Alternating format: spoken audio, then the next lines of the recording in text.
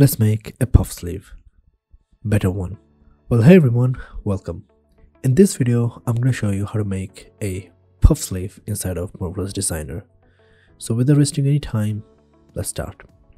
Alright, to make a sleeve, any kind of sleeve, you want to have a basic pattern just like this. And if you don't know how to make a basic pattern, watch this video, I have explained it. Before making a puff sleeve, I want to make a simple sleeve first. How? Pretty simple. I'm going to add or draw a rectangle first and then I'm going to add a point just in the middle and then just drag it like this, right click and convert to curve point. And then I'm going to curve, I'm going to make the shape as the sleep pattern just like this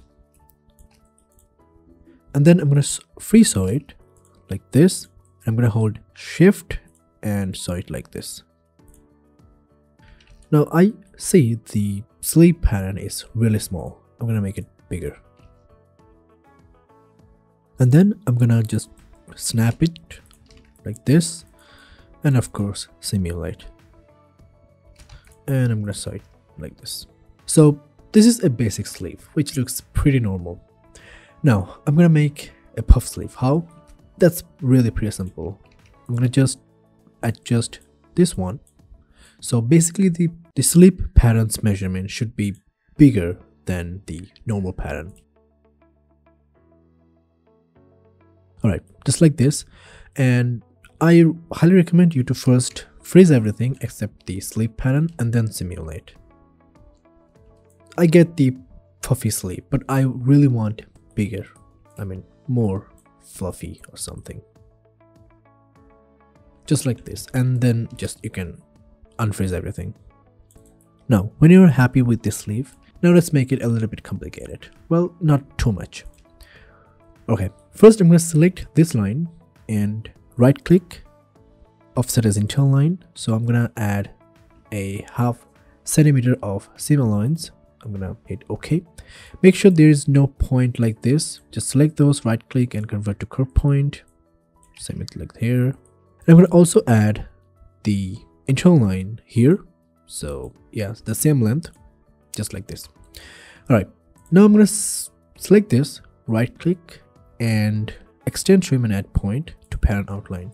And I'm gonna do the same thing with this.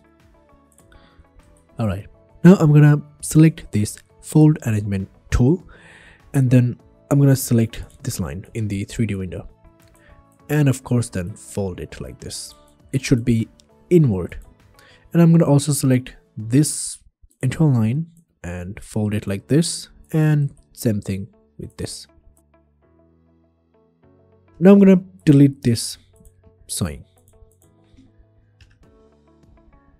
now I'm gonna free sew in the inner part. So as you can see here you sh you should sew this this point. So the extra seam allowance should be underneath the sleeve and you will get amazing seam line. All right so free sew just like this you should sew it the the inside like this and then i'm gonna sew the outside just like the outside and then of course simulate. Alright, that's how you can get the amazing seam line here and the extra stitch is in the inside. I hope you understand. Alright, now you, you can decrease the particle distance of the sleeve just like this. And now I'm gonna do kind of the same thing with the sleeve band. How? Pretty simple. Just I'm gonna like this and I'm gonna add another inter internal line and maybe like this and then cut and sew simulate and I'm gonna make this sleeve band a little bit smaller and make sure this is perfect rectangle you can adjust this sleeve band just like this but this is optional now I'm gonna select this line internal line and I'm gonna add like yeah half centimeter. Delete this sewing and sew with the internal line. And then I'm gonna use this sublayer tool and select this tool. First select here and just and then select this. So that's how this sleeve will be on top of this sleeve and simulate. Yeah much better. Now i'm gonna select this right click and layer clone under. So i get the exact same pattern underneath. And then right click remove linked editing and i'm gonna delete the auto sewing. And then sew to this and this. All right then select these four lines then right click and offset as internal line maybe five yeah five is okay and then i'm gonna sew it like this simulate there you go that's how i made this kind of puff sleeve inside of Clo 3D or Marvelous Designer. And once you're done, Control G to symmetric paste to the other side and hit OK. We'll simulate.